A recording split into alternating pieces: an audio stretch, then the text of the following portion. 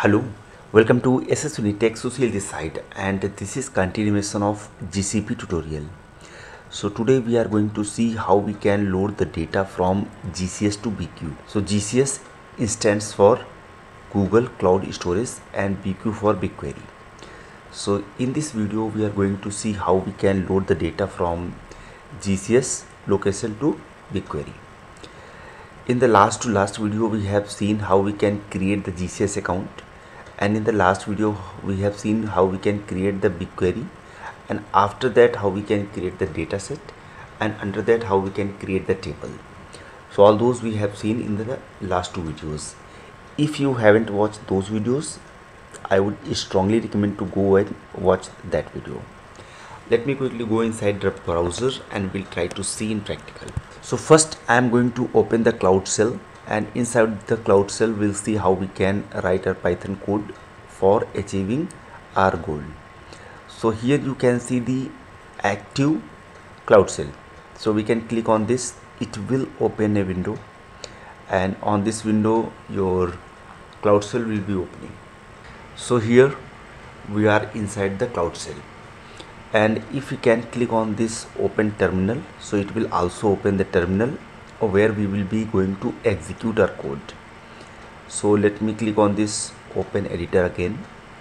So here if you can see it is having SQL server and after that we can add your folders and files.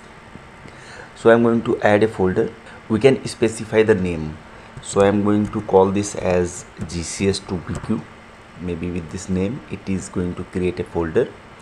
And under that folder I am going to create one file and the file I am again going to call this as gcs2bq what type of file it will be?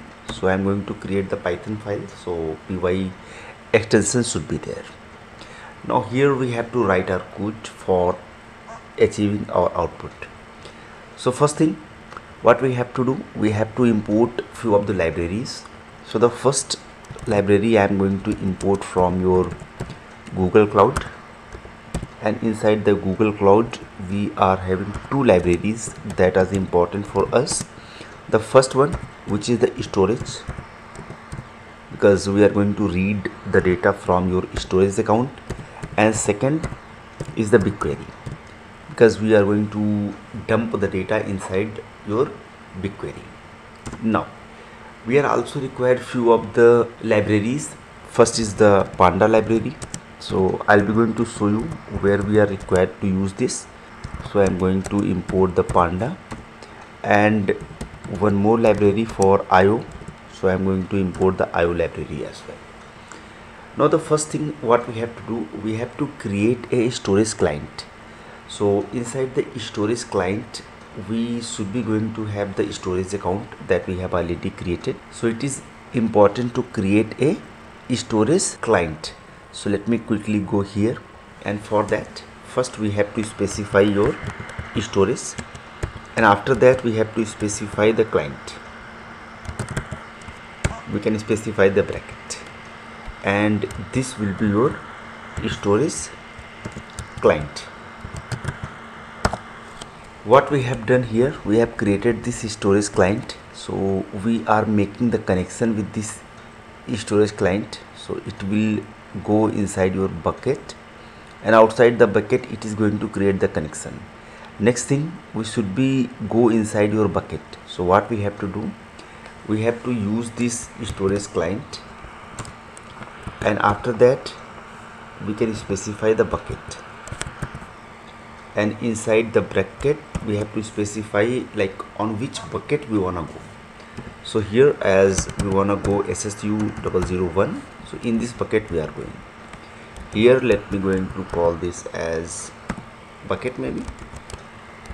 Now we have jump inside your bucket.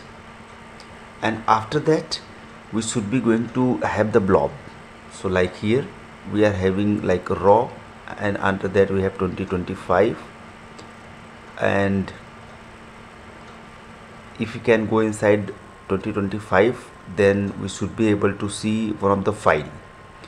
And that file will be containing the information for id and name only those two columns those we have created the table. So the table is test and it is having total two columns. In the last video we have already seen. So the same csv file that we have with us and it is containing total two columns id and name with comma separated values.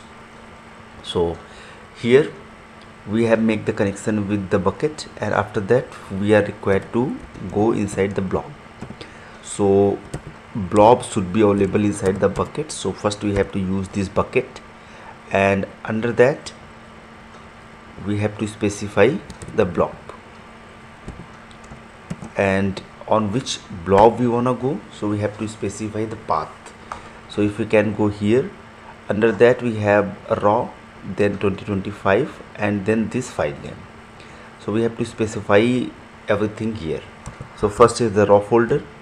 Under that we have 2025 then we have data dot csv so this is your blob. Once we have blob with us then we are going to download this blob as test or the string maybe so we can specify download this blob as string. So we have this data with us. Then we are required to convert this data into your data frame. So for that what we have to do? We are required to use maybe panda library so here we are going to use the panda library for reading this csv file. So this is your csv file. And after that what csv we have? So here we have this data as in csv but this data is downloaded as a string. So first we have to convert this into io format. So for that we have to specify the string of your io and then we have to specify your data. And let me put this into a data frame that is df and if let me quickly go and try to print this df and let me execute this code. So it should be going to read out the data from your file and displaying that data in front of us. So for executing this code we have to go inside the terminal. Here the first thing we have to install our panda library. So for that we can go and call this pip install and then we can specify panda so as I have already added this library in my machine so we can see requirement already satisfied. But in your case if first time you are going to execute this it will be going to install the library and the second library which is required. So we have to use the pip install of your pyarrow so these two libraries are important to install. Now if we wanna execute our code so what we have to do? First we have to specify the python and after that we have to specify the path so path is gcs to bq folder and under that we have file. What is the file? Gcs2 bq dot py file. Let me try to click on enter on this. So it will be going to execute your file. So it is throwing an error like your string io is not defined. Why we are getting this error? Because i have not used this io dot here so i'm going to use io dot. Now let me try to run this again. So here again we are getting this error which is the type error. It is saying initial value must be string or none. So if you have remembered our first column is id and which is having integer value. On this scenario this string will not work. So what we have to do? We have to convert this into bytes. So we have to use the bytes io instead of string io let me try to click on this open terminal and execute this cell again. So this time this should be executed as we can see and the data frame is going to return the value as id and name. This is the index and after that we have all these values. So this index by default is coming while we are going to use the pandas. Let me quickly go on this code section and here I am going to dump this data inside your BigQuery so what we have to do? So loading the data first we have to again create the client of your BigQuery so let me call this like BQ client. And here let me try to use the BigQuery dot client. And after that here we have to specify the your project id so how we can get the project id we can click on this my first project and under that we can see this id so let me try to copy this id and let me paste it here. So what it is doing? It is creating a BigQuery client.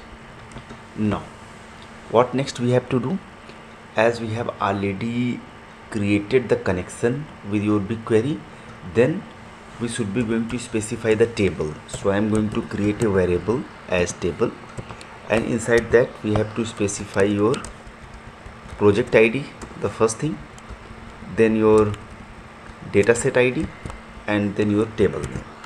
So the dataset that is the SSU test and the table that is test. So this is the table I am specifying explicitly here. I am going to load this BQ client that we have dot here we can see the option for load data from data frame. The first parameter should be your data frame and the second parameter that should be your table. And if we are having any configurations with us then the third parameter we can specify as job configuration. So that I am not going to specify here but in our upcoming videos we'll see more detail on this. So let me print and say like data have been loaded successfully. Now if you can go on this terminal before going to execute let me quickly show you the data on this table so as of now we don't have any data. Let me run this query. And this table should not be having any data. And if I am going to execute this query once this query execution will be successfully done so we can see data have been loaded successfully. If we can go on the table and query the data from here then we should be able to see total four records that we have already seen there. So that we can see so we are having id and name and all the values have been loaded successfully here. And if we can see this code so this is very straightforward. We have only created the storage client and the BigQuery client. And after that we jump to the bucket and inside the blob. Then we have downloaded this blob as a string and then converting this into data frame by using the bytes io so why we have used bytes io because string io are expecting all the values as in string. But here the first column is not the string so that's why we have used the bytes io and after that here we have created the client and then specifying the table. And by using this load table from data frame directly we are going to load the data from this data frame to this table. So thank you so much for watching this video. See you in the next video